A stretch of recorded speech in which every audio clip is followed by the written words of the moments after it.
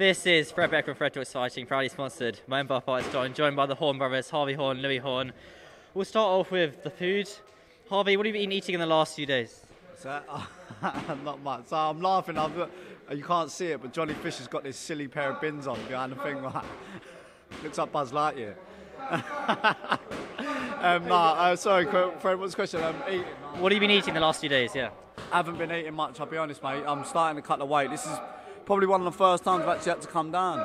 Um, I mean, we're fight, I'm fighting at flyweight still, so at eight stone. But um, yeah, the fight is actually at eight stone. Normally there's like a little bit of leeway in there, eight stone two, eight stone three. But for some reason this one was made at eight stone, so um, I've got to make the um, championship limit. What's it like living with your brother Louis? He can eat wherever he wants. I can eat what I want. Yeah. Yeah. What, he can eat what he wants now? Yeah, but he's st- yeah. Yeah, um, no, it's annoying. It's annoying. Don't get me wrong, but it's, I'm in that phase where you know I'm a little bit miserable, but it's what it is, isn't it? I'll be alright. I guess it is alright. Louis, how you been, mate? It's been a while since we last spoke. Yeah, good Fred, how you doing? Well, actually, hang on a sec. Well, last time, right? Me and you arranged to go down, down to jab boxing, and you didn't turn up. I told him to stop. I, I was, I know, you know what happened? Um, I was with a girl, and then um, I had to drop her home, and I was late on, on my timing. That was it. full of holes already. Yeah, well, bird. I'll get- You don't get no birds. They're everywhere, mate. They're everywhere, mate. So, our Harvey's after party after his fight on Friday. Yeah. You going? Nah, forget that. It's all boring. It's all boring. No, I'm joking. Yeah, of course I'm going, Fred. I'm going to be front row. How many people are going then? Now I'm 18. How many people are going? To the after party. To the after party, Do you think there'll be more people going to the after party than the actual fight? what, what we're going to have? Hundred percent facts. Yeah, mate. we have a uh, so yeah, if we have a if we have a house party and say say I do say I don't know, there's 200, 250 people there. Yeah, but You're talking you're talking five in the gaff, five hundred in the gaff, and I'm not lying. I'm not lying. The last house party we had, we haven't got a dog, and in our on our carpet there was a dog like mud tracks all the way through the middle of the floor. It's mental. I had a geezer, yeah. I walked down. I wasn't drinking at these times, yeah, 'cause I was a bit younger. A geezer was on the floor. He's got two beers in his hand and he's in midair. And he's meant to be, he's out, right? He's out cold. He's somehow holding two beers asleep. Like this, woke up, started drinking the beers, he's back on it. You know what I mean? Mental. A lot of sloppy. A lot of quite sloppy. Yeah. So basically, all happens at the after parties. What's the craziest thing you've seen at one of these after parties? We'll start with you. Ah, I can't say that on camera, Fred. We'll get them on our chance, I guess. So what's the what's one of the craziest things which you can say on camera? Um, I know, seeing my old man run through the party naked. With his little knob and all, and his long balls. But yeah, yeah, that's funny. That's funny. But that ain't go crazy. He does his party trick as well. He stands on a chair and goes and tilts over it, and he's naked, and everyone's like, oh, don't. So embarrassing. But don't. That's, that's after him after a couple of beers, I guess. That ain't a bad one, and all for that. I'll give you some. Yeah, that's sober. So what's he like? What's he like after five beers? I don't want to know, Fred. Just stay away. Just stay away. All right. So obviously, let's talk about your last fight. How would you rate performance? You weren't very happy with it, but you, I guess you watched it back. Yeah, I watched it back. Um, same story, but there's good things to pick from it. Uh, I have, and, and let me let me tell you something as well. I haven't had a real camp for for a fight yet properly, and um, I need to put me, I need to liven up really. You know what I mean? And stay consistent with it. Stay consistent with it, which I am.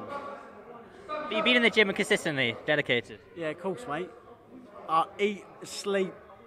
Oh, is it eat, sleep? Because you told, I think you told me after the fight, there ain't no after party. We ain't going out. We're going straight back in the gym. How long did it take you to get back in the gym after the last fight? no comment. nah, nah. It took me three weeks. Three weeks. Wait, three weeks. Three weeks, three weeks. I was back in it. But you know what it was, Fred? Um, I had chest infection, so I had to wait for a chest infection to go. God, that's a lie. No, I'm joking, serious. I had chest infection, so I had to wait for that to go. And um, yeah, that was it, really, mate. Do you, do you balloon up in weight in that time at all, or do you kind of stay on it? Nah, I'm I'm one of them guys. If I put on weight, it's muscle. And um, I suppose everyone's excuse at the end of the day, isn't it? yeah, yeah.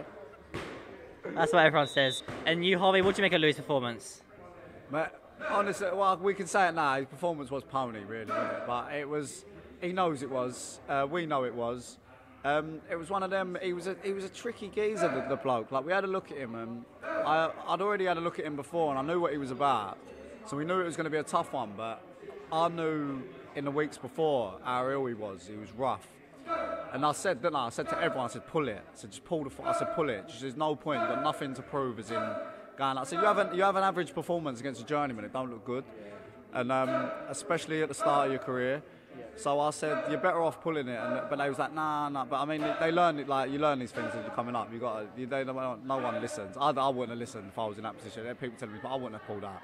But it's just one of them things where um, he's gone through it now. He's learned it, and um, I it's still got the win. You can't. That's what I'm saying. You can't moan. He had a good fourth round. Funnily enough, he had a good fourth round. It's like he switched on in the fourth. But the first three, uh, yeah, it was bored out. My bored out my nut. bored out my nut. Standing there staring at each other. That was like your fight, mate. I was copying you. Yeah, no, that's yeah, that's my one out of my playbook. I took, a leaf out of his book, Fred. That's what's happened. I videoed the I videoed the fight. I think they put up on their YouTube channel. You watched it back though, haven't you? Since Yeah, I've watched it back. The fourth round was alright, but I, I was doing it uh, in before the fight. I was hitting the pads. I was thinking, how am I going to get through this? My chest was messed. Like, like it was alright. I got in there, and I got the win, Fred. I got, I got the win. and obviously Louis fights this Friday, the Boston Boxing Show. You'll be there ringside in the changing rooms about. Yeah, no, definitely, definitely. He'll kill the geezer, anyways. I've seen him. If he don't, I'll do him myself. You know what I mean? Do you ever bet on your brother in the fights? Yeah, all the time. All the time. I know. With a ten pound I got. no, I'm joking.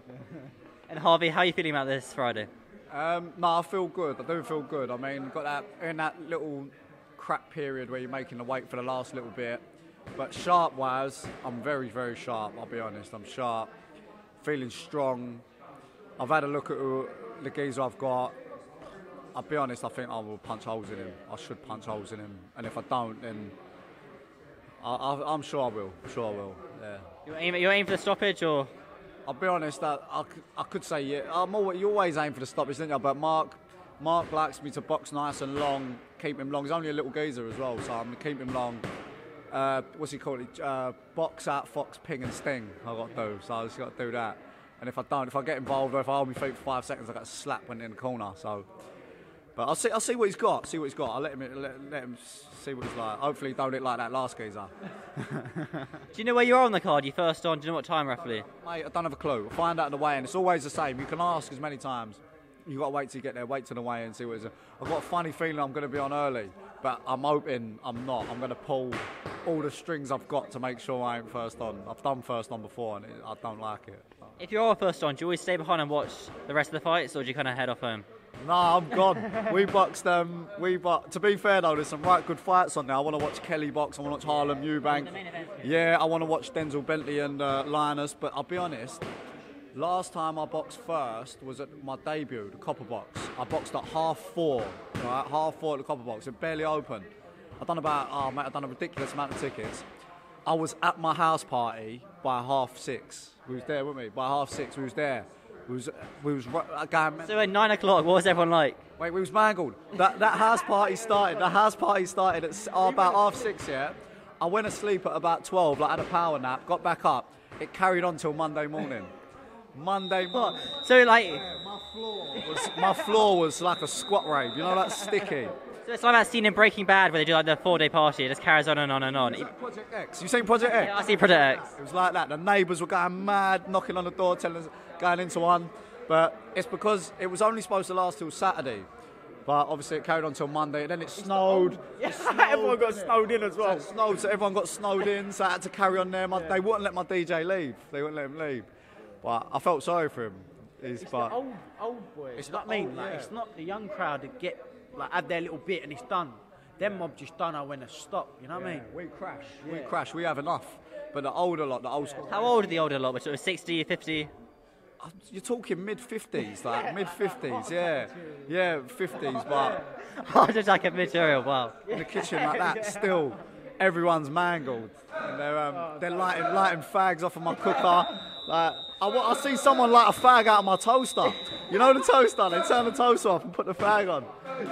Yeah. And everyone was like oh, all buzzing. I put, I put a poster up, you know, like on, on the wall of like the debut, because it was a special one. Put like, it was like a Harvey Horn, like whatever. And where everyone was like, was like, right, we're smoking outside. You smoke outside, don't smoke in the house. By the end of the night, everyone was smoking inside. I took the poster off the next morning, yeah. Just a black, the wall was black and there was one white, big white mark on the thing. Oh, it was messed up. Well, it sounds like I can't miss the after party on uh, on Friday. I guess we'll do an interview on Friday. But I remember, Louis, I want to ask you about this. You're working with your dad's friend. Did you still work with him? Packed it, Fred. I packed that in a while ago. A while ago, yeah. I'm a professional athlete now, Fred. This is what I do. But yeah, yeah, I'm a professional athlete, Fred. I can't be lifting up carpet and all that, doing my back in. That sounds pretty good. And what sort of pranks would you would you do on your dad's friend? What would you do to him? It sounded like you didn't have the kind of the, the best relationship. We'll put it that way. Nah, we did. We did. If in case you see this, you know what we did? We did Mark. You know what I mean? Give him a little shout out. But um, I didn't play too many pranks. Him. I just didn't really do anything, Fred. That's the difference. Um, yeah, fall asleep while he's working. You know, the normal. But um, yeah, we move on. You know what I mean? We move on. That sounds pretty good. Well, Louis Harvey, I'll catch you Friday. Thanks for the time. Thank you, Fred.